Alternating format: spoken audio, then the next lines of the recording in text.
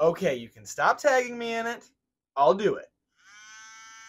This is what you use for foaming milk for like a latte, but apparently it will pump enough air into a bourbon. It'll help open it up. It'll basically hyper decant it.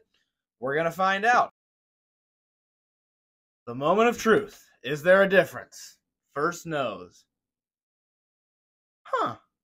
Okay. I felt like on the first time I took a nose of this one, it was way stronger. But then as I kept going, it just kind of leveled out. They both just smell like Buffalo Trace. So far, this one would be my guess, though. Let's taste both of them. Results will vary for different whiskeys. This one tastes like Buffalo Trace.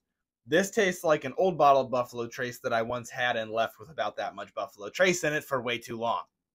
I'm going to guess this one's the hyper decanted one. It tastes kind of stale to me, to be honest with you. It is the hyper decanted one. So results will vary with your bourbon.